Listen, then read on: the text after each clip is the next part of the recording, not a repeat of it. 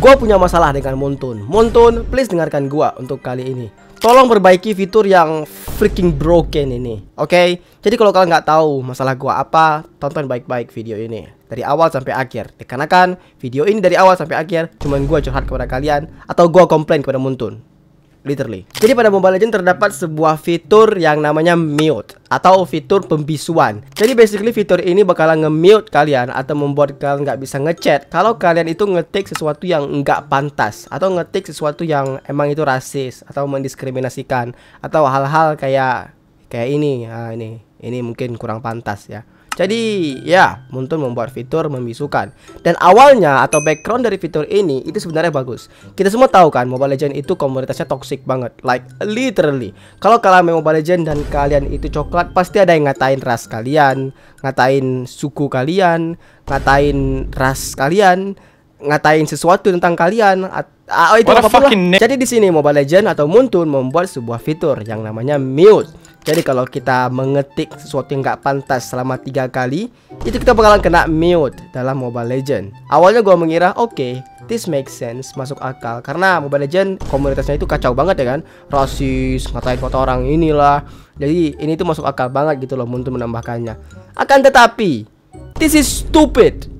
Fitur ini itu sangat-sangat sensitif. Literally, sesuatu yang nggak harus di mute, kena mute. Contoh, tutor dek What the fuck? How the fuck tutor dek kena mute oleh Muntun? Gue sampai sekarang nggak paham Kenapa Muntun menganggap ini tidak pantas. Literally Tutor dek Itu menghina sedikit. Sedikit doang. Dikit doang Dikit doang. Kayak cuma seupil doang. Kecil lah pokoknya. Jadi di sini itu menurut gue nih ya nggak pantas untuk di mute gitu loh I guess. Jadi di sini gue pengen coba sambil nyoba gue main bareng bersama dengan player Lita. Dikarenakan di sini gue takut kalau gue nyoba gue malah di mute oleh Muntun, jadi gue nggak bisa berkoordinasi dengan teammates gue. Jadi di sini gue memutuskan untuk mengorder salah satu player Lita yang jago. Biar kalau misalkan gue di mute, ya itu bukan jadi masalah. Bang, ini coba aku tes ketik tutor D, kena mute nggak ya? D-nya kayaknya mute. Ya, kena mute.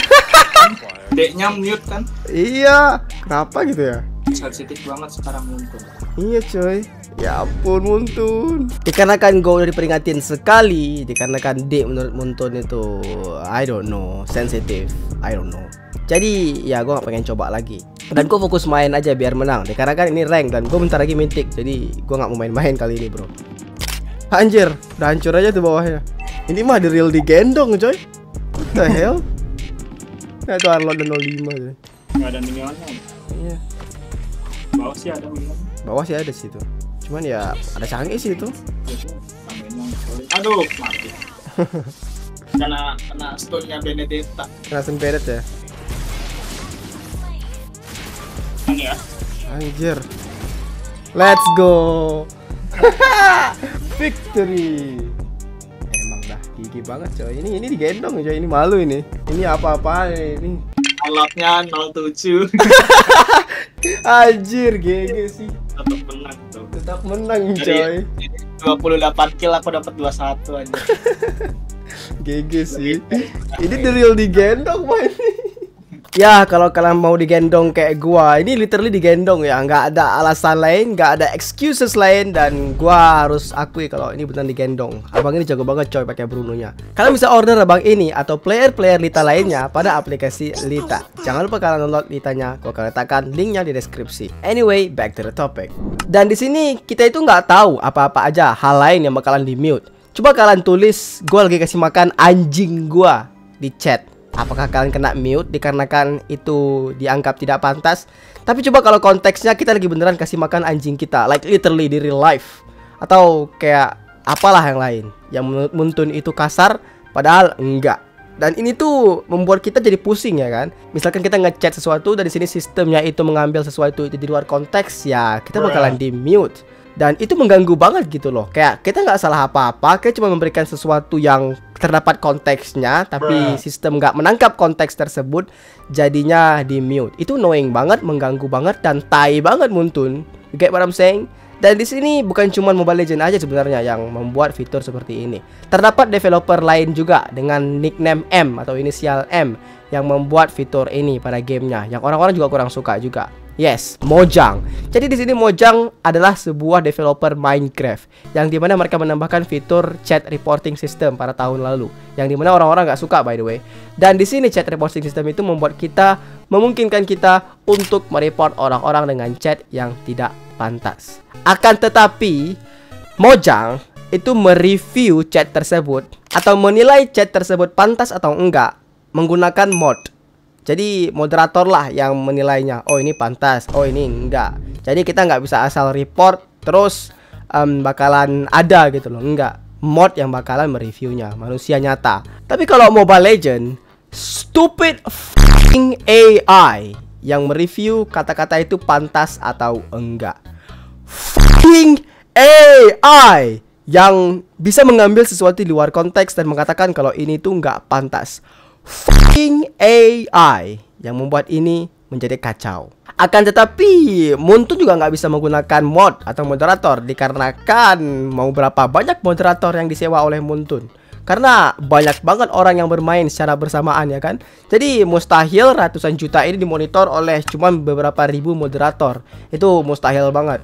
Jadi di sini mereka mau nggak mau ya harus menggunakan AI yang bodoh banget ini dan mengambil sesuatu di luar konteks terus meng-mute kita atau mengambil sesuatu yang sedikit sensitif kayak tutor D ya itu kalian bisa di mute by the way yang menurut gua itu belum melewati batasan yang harus di mute tapi tetap di mute. Dikarenakan Mobile Legends itu game yang kompetitif ya, nggak mungkin kalian bermain game ini untuk have fun. No, you guys are fucking stupid kalau kalian main game ini untuk have fun. Game kompetitif tujuannya adalah untuk menang. Pertemanan kalian rusak gara-gara marah-marah itu tujuannya apa? Tujuannya untuk menang. Jadi game kompetitif kayak Mobile Legends ini tujuannya bukan untuk have fun. that shit. Tujuannya adalah untuk menang. Gak percaya? Ya kalian semua pasti percaya kepada gue deh karena kan kalian rasain sendiri. Jadi di sini kalau kalian pengen main game untuk have fun, play games like Hollow Knight, Elden Ring, RDR 2, game-game casual, game-game konsol, Sky, Children of the Sky yang di mana gamenya itu sangat santai, yang bisa refreshing, bisa membuat kita fun, yang lebih enak. Jadi Mobile Legends ini kebalikannya. Game ini kalau misalkan kalian udah stres di kerjaan, kalau main game ini double stres kalian. Stres kuadrat. Udah kerjaan bosnya kayak gimana, rekan kerjanya gimana, kliennya gimana, tiba-tiba main Mobile Legends, teammates kalian coklat, nyampah, ngetrol, mampus kalian stres kuadrat. Jadi di sini menurut gua ada kategori chat atau hinaan tipis yang boleh-boleh aja dalam game dan ada hinaan yang keterlaluan yang nggak boleh-boleh aja. Ada standarnya lah. Tutor D at least at least jangan di mute. Dikarenakan itu bisa aja kita ngatain ke musuh Dikarenakan musuh itu cupu banget tutor D Bisa aja kita ngatain ke tim kita Dikarenakan tim kita cupu banget tutor D Dan emang itu penghinaan Tapi penghinaan tipis. You get what I'm saying? Dan iya gue pernah kena mute by the way Dikarenakan ngatain sesuatu kayak tutor D Dan gue pikir kayak oke okay, gue di mute. What could possibly go wrong? Gue kalah. Oke okay, that's it. Gue main lagi ya kan? Gak bisa ngechat gue anjir Gua nggak bisa ngetik anjir. Di saat draft pick gua nggak bisa ngapa-ngapain. Di saat di game gua nggak bisa ngapa-ngapain. Dan di sinilah momen gua kesel banget kepada Muntun. Like how the fuck gua di mute di match selanjutnya. Ternyata gua baru tahu kalau mute-nya itu bukan berdasarkan satu match doang, tapi berdasarkan jam. Kalau nggak salah gua di mute-nya sampai 2 jam. Dan gua kesel banget itu. Kesel banget. Dikarenakan match keduanya, dikarenakan gua nggak bisa berkoordinasi dengan tim gua, gua akhirnya kalah bukan cuma gue yang dirugikan tapi satu tim gue dirugikan dikarenakan gue nggak bisa ngata-ngatain sesuatu. I mean mengkoordinasikan sesuatu. Kayak gue pengen pakai hero apa terdapat musuh di lord misalkan atau memberikan sebuah informasi yang penting gak bisa dikarenakan gue di mute oleh Muntun.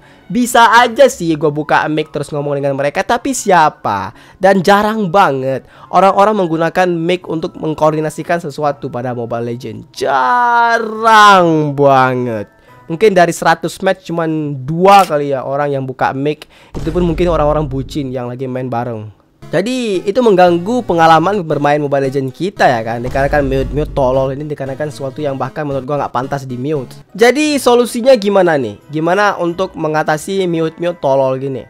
Ya mungkin gini ya AI-nya jangan dibuat bodoh dan sensitif amat AI-nya dilatih lagi biar lebih longgar. Jangan sesuatu kayak yo tutor D itu sampai di ban, sampai di mute. This is stupid. Come on.